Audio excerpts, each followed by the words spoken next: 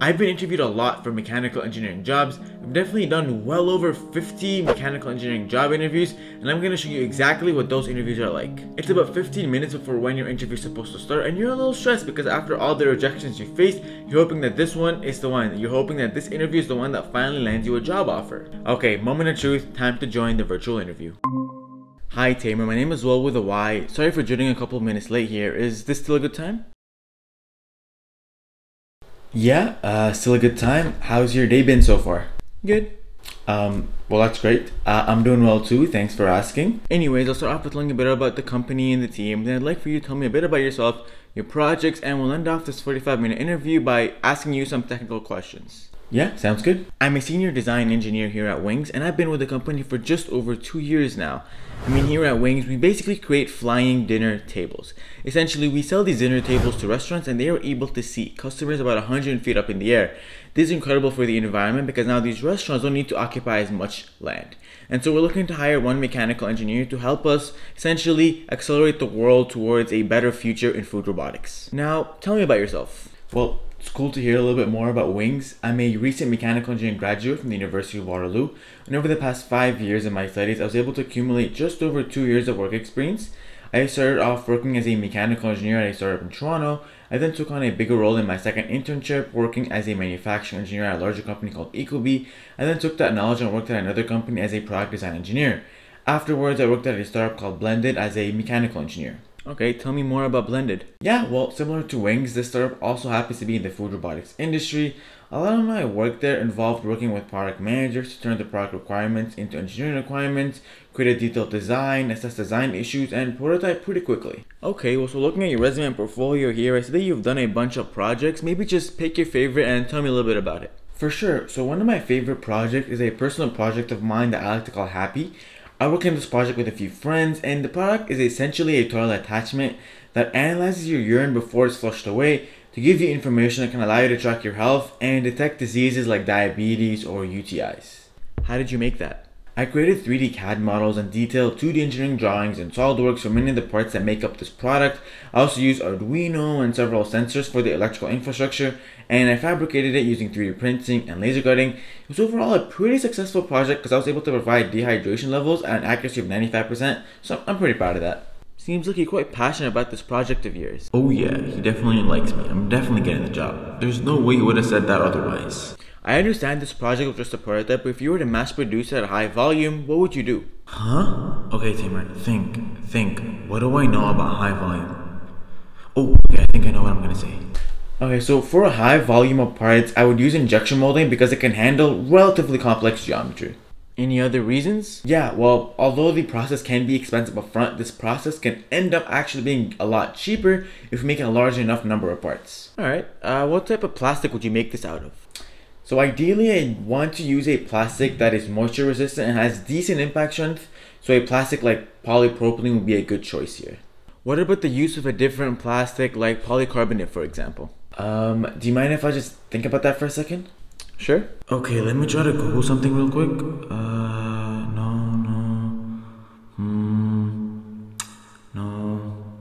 that could work. Okay, well, although it is possible to use it, polycarbonate isn't as machinable as polypropylene. This means it will be harder to create the shape that we want, or it will cost us more. Okay, sure, let's get into the technical questions now. I'm gonna send you a link that's essentially a virtual whiteboard, so please click on it and uh, let me know if you can see what I'm showing you. Sure. Did you get it? Uh, no, not yet. Oh, oh, just got it. Okay, first question. We have a solid rod and a hollow rod. Both of them are sliding down a ramp. Which one do you think will reach the ground first if they have the same mass? This is such an easy question. I studied this exact question last night. Let me just act like this is the first time I'm hearing this. Hmm, let me think about that for a second. Well, if the rods are sliding and without air resistance, they will reach at the same time. But if they're sliding with air resistance, it is likely that the hollow reaches first as its geometry faces lower drag. Okay, well now instead of having the same mass, let's say they have the same volume but different mass. Would that change your answer? Same volume? Okay, I don't remember seeing this question before. Okay, Tamer, just relax. This rod is rotating down the hill. What equations can I use for this? F equals ma? Nah, okay, maybe I can use the torque equation? Yeah, I think that could work. Uh, do you mind if I draw on your whiteboard? Go for it. We know that T equals I alpha, where T is torque, I is moment of inertia, and alpha is angular acceleration. Another equation we know that defines the moment of inertia is I equals mr squared. So if we combine both equations and isolate for alpha, we get that alpha equals T over mr squared. So the route that we'll reach first would be the one with greater acceleration, and according to the equation I just derived, the one with lower mass will have greater angular acceleration, and therefore that one will reach the bottom first. Okay, nice. Let's move on to the second question. Okay, I definitely got this one right. Let's go. Okay, Tamer, chill, keep it cool. Now, as a mechanical engineer, we work a lot with different types of metals. Two of the most common ones are steel and aluminum. Could you maybe tell me a little bit about both and what the differences are between them? Okay, so aluminum tends to be more flexible than steel and more corrosion resistant. However, steel is denser and harder than aluminum, but aluminum tends to have a greater strength to weight ratio though. Okay, great. So let's say we have two pieces of metal, one is steel and one is aluminum, and we take those two pieces of metal and we stretch them. Could you maybe tell me a little bit about how the stress on these two pieces of metal would act? Um, okay, so because steel is more... Could you actually draw a diagram on the virtual whiteboard to answer this question? Diagram? I thought this was an explaining question. What should I draw? Maybe he wants me to draw a stress strain curve? Uh, okay, so I'll draw a stress strain curve to answer this question. Uh, for steel, as you strain it or stretch the metal as you said, it will undergo elastic deformation until it reaches its yield strength. Afterwards, it will go through plastic deformation. The difference between elastic and plastic deformation is that elastic is reversible, whereas plastic deformation is irreversible. Okay, and what about aluminum? Yeah, so aluminum isn't as strong, so its curve will look something like this, where the y-axis represents the stress the metal can face, and the x-axis represents how much metal is strained or stretched. And so the end of both of these curves represents when the metal breaks after being stretched. Clearly, aluminum will break under lower stress than the steel. Okay, so we have about 10 minutes left now, so let's move on to the third and final technical question. This one is just meant to give me an idea of how you think about design problems. Okay, hit me. Did I just say hit me in the interview? Who the heck says hit me in an interview? Oh my god, that's so unprofessional. Okay, it's okay. Hopefully, hopefully he didn't hear that. You have three light bulbs upstairs and three light switches downstairs. If you can only go up once to determine which switch connects to which bulb, what would you do to figure that out? Could you give me a minute to think about that?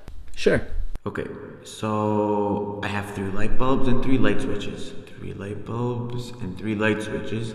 What happens when I turn on a light switch? Well, light bulb turns on. Okay, but what else happens? What else happens? Oh, well, the bulb heats up. Okay, so I have an answer. To figure out which light switch belongs to which light bulb, I think what you do is you turn one on, then turn one on one minute later, and leave one off. Whichever bulb is the hottest is the first, the warm one will be the second, and the one that is off would be third. Okay, great. So we only have a couple minutes left before I have to drop off, so I'll give you these last few minutes to maybe ask me some questions. Okay, well, I'd kind of love to know a little bit about what the next steps are in this interview process. Great question. So how the process at this company usually works is first you do an interview with me, and if I like you, which I think I do, you then move on to the second stage of interviews where you do a panel interview with five different engineers, similar to this one. Someone should reach out to you to schedule those, but for now, that's about it. Uh, thanks for your time, man. Have a good rest of your day. Thanks. You too. Wait. A second interview? There's more?